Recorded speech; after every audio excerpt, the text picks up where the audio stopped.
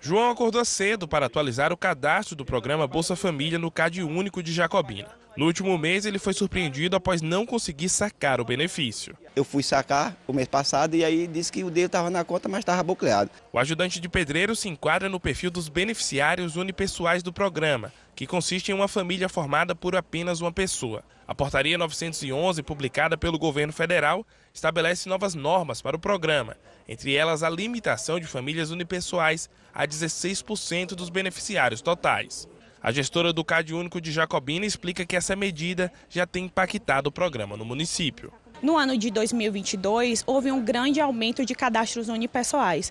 Foi justamente por isso que impactou nesses beneficiários. O Ministério né, é, mantém a regra de 16%, porém Jacobina já passou disso. Ao todo, Jacobina tem 14.766 beneficiários cadastrados no programa do Bolsa Família. Desse total, 3.908 são beneficiários unipessoais, o que equivale a 26,46%. Ou seja, cerca de mil beneficiários devem sair dessa modalidade para o município atingir os 16% ideais. A Secretaria de Assistência Social de Jacobina aposta na busca ativa para poder atingir o número a gente precisa fazer essa busca para identificar se realmente Jacobina está com esse percentual de 26% e se caso não esteja, a gente precisa regularizar para ter novos contemplados no município. O CAD Único informou que o município não terá novos cadastros unipessoais até a cobertura ser adequada. Quem também se enquadra no perfil unipessoal é o Zivaldo. Ele mora sozinho em Jacobina e soube das mudanças do programa.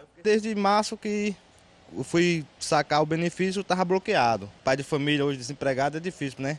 Situação é precária, porque a gente tem filhos para dar, é, pagar pensão, alimentar a casa, ter que correr atrás do serviço. Quem faz parte da modalidade unipessoal do Bolsa Família atualmente mora com outras pessoas deve buscar o CAD único para fazer a atualização do cadastro e não correr o risco de perder o benefício. Aqui em Jacobina, essa atualização deve ser feita na Secretaria de Assistência Social de segunda a sexta, das 8 da manhã às 2 da tarde. Se de fato a pessoa reside com mais alguém, precisa comparecer no setor e incluir o novo integrante, é, RG, CPF originais de todos que moram no domicílio e um comprovante de residência.